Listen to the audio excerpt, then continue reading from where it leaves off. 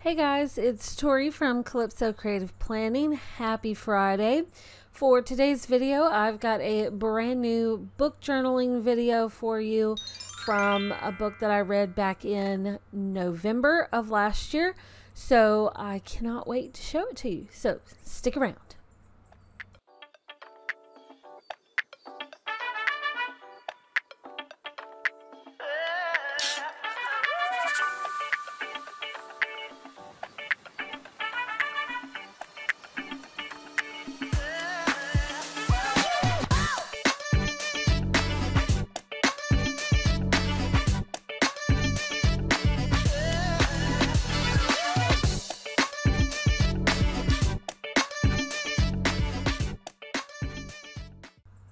Before we dig into this book journaling session here, I just wanted to throw out a reminder that this weekend is the last weekend that the first issue of my monthly subscription will be available.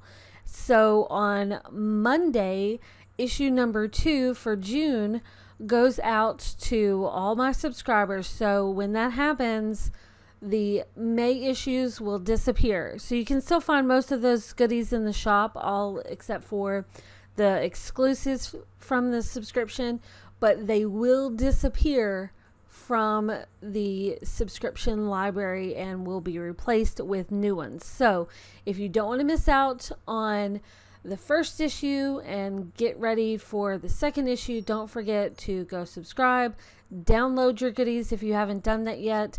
The links for the goodies will always be available as long as you download that catalog from the subscription. Okay, all right, now let's get to the book journaling. Okay, so for this particular spread, I was working in my 2021 Teal book journal, and at the time I was still planning in Noteshelf for my book journaling and this is about the time when I started having problems with the text feature in Noteshelf. And I don't know what it was. It kind of comes and goes if I go back to the app. So if anyone else has had this issue and figured out what to do to fix it, let me know.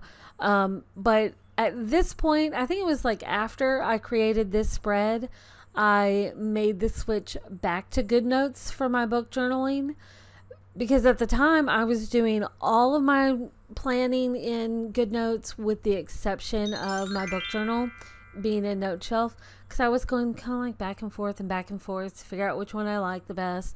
But this just kind of like pushed me over the edge. And you guys won't have to suffer through everything that I had to deal with with this text issue. I had to go through and edit out so much of this video um, the screen recording because every time I would go to do text, it would like the screen would skip around, and I don't know. Like you can see, still see like a little of it, like it, and it just got like worse and worse. It was, it was so frustrating. So I edited a bunch of that out, so you guys don't have to um, see that. And yes, I realized I spelled Steffanie's name wrong. Uh, it's something I can go back and fix. We're digital. It's fine. But this whole text thing, as you can see, it's like jumping. And like I said, I edited out a bunch. I mean, a bunch. This video would be like twice as long if I had left all that in there for you guys to see. But I figured, you know, why bore you with those problems from this problem child app? So I just, I just edited that out. But if anyone's figured out how to fix that or what, I don't want to like get rid of the app and re-download it because then I have to back up all my stuff. Granted, there's not as much stuff in Noteshelf as I have in GoodNotes, but still, it's kind of a pain in the ass. So if anyone's figured that out, let me know. Um, if you haven't seen one of my book journaling videos yet, let me give you a little background. And if you have, I'm sorry you're suffering through this again. Just bear with me. Um, when I create these uh, these book journal spreads, all of the review pages are linked to the monthly calendar. So I put the cover on the day that I start reading the book, and then I can just click the little date, and it brings me to this review page where I can add like a big cover, which I get using like a screenshot from the Kindle app on my iPad. And I add the cover, I add all the book details, and add my favorite quotes that I highlight while reading. And thankfully, because it is a Kindle that I'm reading on, I can export those notes straight to my email so I can just copy and paste. I don't have to actually like write any of that because when I first started book journaling, I was writing all of those because I did not realize I could export my notes. So, game changer. But I love creating these book journaling spreads. And if you saw my last video where I compared journaling in GoodNotes to the it's now called the Go Journal app. It was Daily Notes, now it's Go Journal. I compared like this creative, like fun style to a more functional style. And if you haven't seen that video, go back and, and check it out so that you can like compare and see what's right for you. But personally, I just love being more like creative and free flowing. Now, like seeing all my notes on one page instead of like scrolling through them. And I just love it. These book journaling pages are just so fun for me. And it's like, uh, I need to be better about like actually doing it like right after I finish the book um, so that I can. This, this is going to sound weird, but I need to start doing it right after I finish the book so that I can decorate accordingly. I know that sounds kind of lame, but you know, like some books just have like a vibe about them. Like this, this spread is very vibey, and I actually did this spread a day after I finished the book, so I feel like it's it goes to like kind of on theme with this book. And I feel like if I actually caught up my book journal to like doing it like right after I read the book that it would they would all kind of have that feeling of being more reflective of the theme. Because this there's some some like dark and twisted elements in this story and I feel like how I end up decorating this page really reflects that and like there's another book that I read recently that while I was reading it, I kept picturing in my head how I would decorate the journal page to go with it. And here's a hint, sunflowers. There's gonna there just has to be sunflowers. I even in my head was thinking, okay, who has sunflower stickers? That would be digitally wild and the digital siren. Like this is this is how I was planning out as I was reading the book. So I want to I say that I want to decorate the pages and like journal about the book like right after I read it, but I have a tendency to the day I finish one book start reading another book. And I mean that's what I did this week actually.